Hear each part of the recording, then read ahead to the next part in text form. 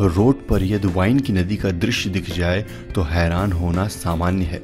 ऐसी एक red wine की नदी स्पेन की सड़कों पर बहती हुई देखी गई, जिसका वीडियो सोशल मीडिया पर बहुत वायरल हो रहा है।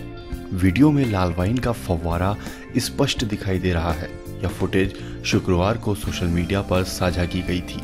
वाइन को रोड पर यूँ बहता देख कई व्यक्ति तो रो भी रहे हैं कि, काश इतनी महँगी वाइन बहने की जगह उन्हें मिल जाए।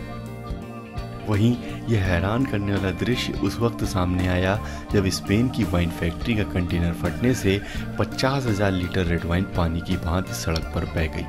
फुटेज में स्पेन के बेडोगॉस विटविनोस वाइनरी में कई बड़े वाइन के कंटेनर दिखाई दे रहे हैं। वीडियो में एक कंटेनर से लाल वाइन का फवारा निकलता नज़र आ रहा है। इसके चलते पूरे एरिया में लाल कलर का समुद्र फैल गया। इसके साथ साथ वाइनरी कर्मचारी बेबस होकर सिर्फ़ यह दृश्य देख रहे हैं। हज़ारों लीटर वाइन आहिस्ता आहिस्ता बहते हुए पास के खेत में चली जाती है।